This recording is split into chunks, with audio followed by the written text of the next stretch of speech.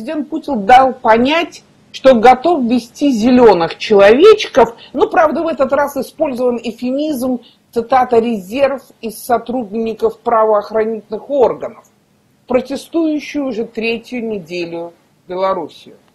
А на следующий день, в пятницу, 28 августа, а, Путин проводил заседание Совета Безопасности, о чем вы можете прочесть на соответствующем сайте Совета Безопасности России, такая новая инкарнация Политбюро. И там, как я понимаю, был проголосован этот вопрос членами Совета Безопасности, то есть он сделался участниками и правительства, и силовиков, и Государственную Думу. В качестве основания для этой правоохранительной помощи белорусскому диктатору, естественно, это все в кавычках, который бегает возле своего дворца с автоматом, окруженный бронетранспортерами и спецназом, Путин назвал некие документы в рамках договора о союзном государстве России и Белоруссии, а также договора о коллективной безопасности, известно как АДКБ. Однако эксперты быстро выяснили, что ни в одном из этих документов нет правового основания, нет положения, которые позволяли бы Путину ввести войска в суверенную страну, если, если только она не подвергается э, внешней агрессии. Однако ни Польша, где много белорусских иммигрантов, ни Литва, не говоря же об остальной Европе или Соединенных Штатах Америки, никто из них совершенно не собирается нападать на 9,5 миллионную Беларусь.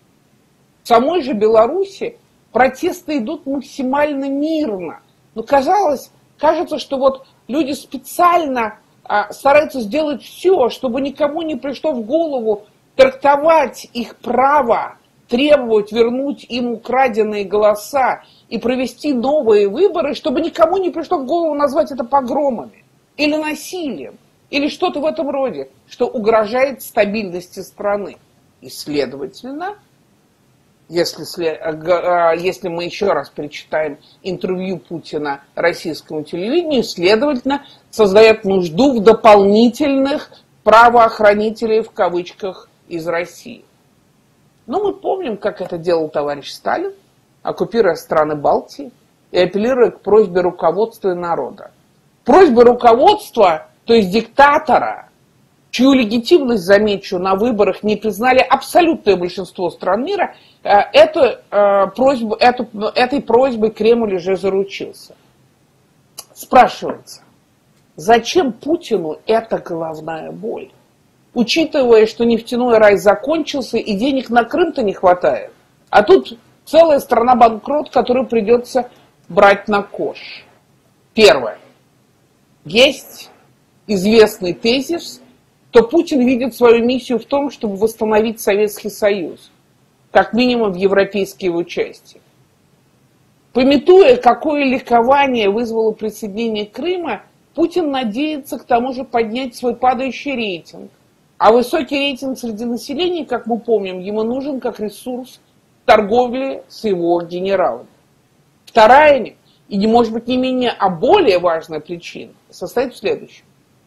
При том, что Путин, как мы знаем, не верит и не любит э, батьку Лукашенко, тем не менее кровопийца и душегуба он ставит выше, он ему милее того народа, который требует свое право, требует э, отдать ему право выбирать и участвовать в решении вопросов жизни страны. Путин войдет в историю как правитель, который последовательно, последовательно выступал на стороне диктаторов, будь это Асад в Сирии, Янукович в Украине или теперь Лукашенко в Беларуси. Напомню вам еще, как переживал Путин по поводу свержения а, египетского диктатора а, Мубарака а, в Египте. Путин не может допустить, чтобы восставший народ, вдруг ощутивший себя не просто населением, а обществом, а его члены гражданами, чтобы этот, победив, чтобы этот народ, это общество, эти граждане победили. Помимо прочего, вы понимаете, это прецедент. Причем прецедент рядом с нами, в стране, которая по большей части говорит по-русски. Вот этого прецедента он хочет всеми силами избежать. Третья причина этой готовности Путина помочь э, войсками или правоохранителями э, бунтующей Беларуси – это конец нефтяной экономики, на которой зиждался весь путинский режим и который позволял покупать лояльность населения и, что еще важнее, силовиков за нефтяные деньги. Несмотря на обещание главы Роснефти Сечина, прежних цен на углеводороды, судя по всему, как минимум в ближайшие 10 лет не будет. Мир не только перестал летать и ездить из-за пандемии, ну, через год-два это восстановится, но цивилизованный мир прикладывает максимум усилий, чтобы не зависеть от углеводорода. Мир кардинально изменился. Это значит, что Путин вполне может ждать протестов внутри России. Да, собственно, они уже есть. То в Хабаровске, что в Башкирии, поводы меняются, но люди протестуют, потому что они пытаются хоть как-то а, сказать власти, что им жить трудно и плохо. И поэтому а, Путин всеми силами дает понять, что он власть не отдаст. Но только вот денег а, купить и бедных, и норковые шубы, которые выходили в 2011 году, и силовиков у него уже не будет. В этом проблема Путина. Теперь, как это связано с попыткой устранения Алексея Навального? А, напомню вам, что был очередной пресс-релиз из Берлинской клиники. Алексей Анатольевич по-прежнему находится в медикаментозной а, коме. А, ухудшения нет – Будем ждать хороших новостей, когда нам скажут, что началось улучшение, и он пришел в себя.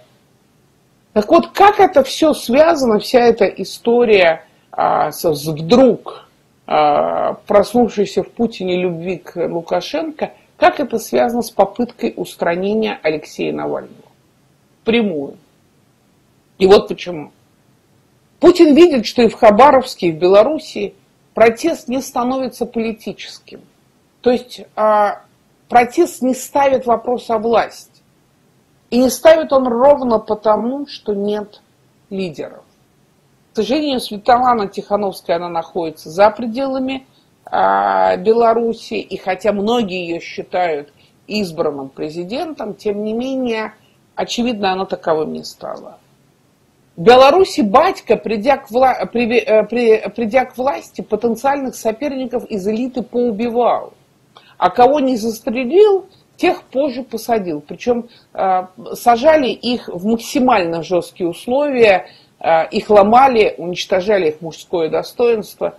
И в результате, когда они выходили, они тут же эмигрировали, тут же уезжали за границу, и о них мало что слышно. Это классика авторитарных режимов. Оставлять после себя выжженное политическое поле. Ровно для того, чтобы протест не имел лидеров. Кстати говоря, ровно это мы наблюдали в Египте, а, где 28 лет правил Мубарак, и который вел вообще чрезвычайное положение, и люди не, не имели права вообще собираться нигде, кроме как в мечети. В России такой лидер был, и будем молиться есть, и он вернется. И это Алексей Навальный. Попытки его покалечить предпринимались, кстати, и раньше. Э, именно то, что все нападения Навального, а это и э, попытка лишить его зрения, э, и возможное отравление в изоляторе временного содержания, то, что это никто не расследовал.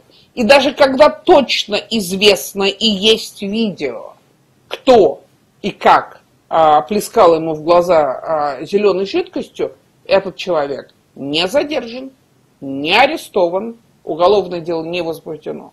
И это прежде всего заставляет нас думать, что попытка устранения Навального идет с самого верха. Как говорят знающие люди, Алексей Навальный – номенклатура первого лица. Но а, травили у нас в Отечестве не только тех, кого считают номенклатурой первого лица. Так, точно так же травили нашего коллегу Юрия Щекочихина. А, и за его страшную смерть никто не ответил. Так травили Анну Политковскую на пути в Беслан, а потом убили. Так, судя по всему, дважды травили Владимира Карамурзу и Дмитрия Быкова. Устранение Навального решает для Путина сразу несколько проблем. Первое. В случае большого протеста, как в Беларуси, у российской оппозиции не будет, как минимум, на земле, не будет лидера. При всем уважении к многим известным оппозиционерам, мало кто из них способен вывести на улицы российских городов людей возраста несогласия, как назвал свой гениальный фильм о штабах Навального Андрей Лошак. Я напомню, что Навальный создал свои штабы в более чем в 80 регионах страны, и сейчас они существуют примерно в 40 городах. Масштабные протесты в Беларуси – это ответ на вопрос, почему сейчас – Почему Навального решили устранять сейчас? Опасения, что насмотревшись на белорусские протесты, где каждые выходные на улицу выходят люди, а, они очень серьезные. Причем, заметьте, в Беларуси выходит на улицу примерно 4-5% взрослого населения. Если пересчитывать это на население России, то это примерно в России было бы 5-6 миллионов э, человек. Очевидно, что а, а, гопники власти собираются а, выводить из строя и других сильных молодых, так как это случилось вчера с Егором Жуковым, которого сначала выгнали из аспирантуры высшей школы экономики, не успев принять, он, правда, успел заплатить деньги за это, а вчера, после того, как он рассказал о своем увольнении из аспирантуры вышки э, на Ютьюбе, его избили возле дома, били сзади, по голове, калечили. Сейчас он в больнице. Но отравление Навального – это еще предупреждение и всем не своим, то есть всем представителям путинской элиты, у кого нет на плечах погонов или кто эти погоны снял в ответ на право иметь свое мнение. Путин и его команда дают понять, любого, вне зависимости от положения известности и количества миллионов или миллиардов на счету – только дернитесь, свое получите. Очевидно, что убийство Бориса Немцова, в прошлом вице-премьера и губернатора, либо уже подзабылось, либо многие списали его на дикость характера предводителя кавказского воинства. Тут же вопроса нет. Навального, конечно, убирали по кивку с самого верха. В этом вопросе, кстати, Путин, повторю еще раз, учится у Лукашенко. Наконец, отравление Навального и это отражение страхов самого Путина, который понимает, что вокруг него подрастают молодые волки, которым работа на хозяина начинает надоедать. А пробиться наверх, как это было и при советской власти, кстати говоря, все труднее – все сосуды и артерии, ведущие к сфере принятия решений, перекрыты людьми а, пред- или давно пенсионного возраста. Это предупреждение им. Вы, ребята, подумать не успеете, а мои вам уже, дают чай, уже дадут чаю попить.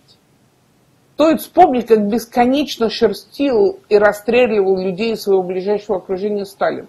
Автократы люди одинокие, а Путин за последние годы насмотрелся как предавали, как кончали свою жизнь, казалось бы, могущественные диктаторы, такие как Мубарак, Саддам Хусейн или Каддафи. Президентские выборы в США. О, это очень важная переменная во всей этой нашей истории. Крайне любопытно наблюдать, как что Си в Китае, что Путин в России торопится решить важные для них вопросы до того, как в США, возможно, 3 ноября сменится президент и а, вместо Трампа в Белый дом придет Джо Байден.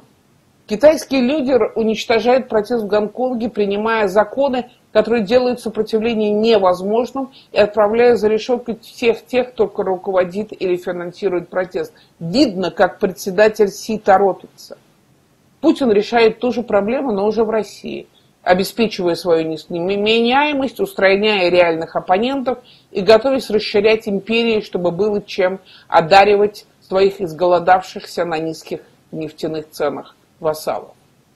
Нынешний президент США Дональд Трамп – это крайнее выражение американского изоляционизма, когда центром американской внутренней и внешней политики является один человек – сам президент США. А все, кто не с ним, кто против него, они враги. В огломном плавильном котле под названием Соединенные Штаты Америки, где каждый другой либо по разрезу глаз другой, либо по цвету кожи, либо по сексуальной ориентации, либо по религиозной принадлежности, либо почему еще, культура договора, компромисса – это необходимые защиты от войны всех со всеми. Введя в обиход термин «враги народа», и тем, кстати, повторив за Сталином и Гитлером, Трамп буквально расколол и так да нельзя наэлектризованную страну. Дело в том, что в Соединенных Штатах Америки всего две по-настоящему большие а, партии, два главных средства канализации интересов. И вот стало совершенно понятно, что эти два канала просто перестали справляться с многообразием американского мира. И этот мир раскололся. Закончившаяся на прошлой неделе конвенция, то есть съезд республиканцев партии, который проходил полувиртуально, то есть он проходил виртуально, как и конвенция демократов, но в последний день он проходил на лужайке перед Белым домом. И вот эта конвенция республиканцев мне скорее напомнила съезды КПСС. За тем, что только исключением, что дети и родственники советских генсеков им все-таки не позволяли а, выступать с трибуны съезда. А тут аж шесть человек с фамилией Трамп рассказывали миллионам американцам, почему им надо 3 ноября голосовать именно за человека с их фамилией. Но мало того, встречу в поддержку Дональда Трампа выступила даже ныне нынешняя любовница его сына. А Мелания Трамп, первая леди США, предложила себя в костюме военного образца – призывая всех богатых женщин Америку воевать за ее мужа. Да, цифры опросов в разных штатах, и прежде всего в штатах, где голосуют по-разному в разные годы, пока это так называемые переменчивые штаты, а, эти цифры показывают, что лидирует номинант Демократической партии Джо Байден, представляющий абсолютный мейнстрим.